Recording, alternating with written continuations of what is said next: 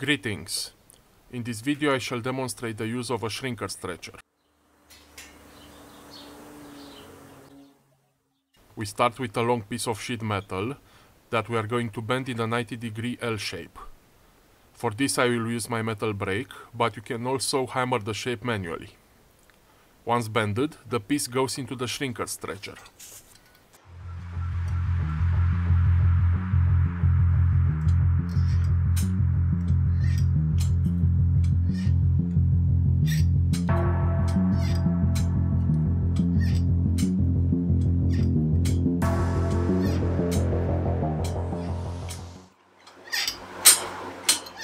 Operating the tool can be quite a workout for your legs.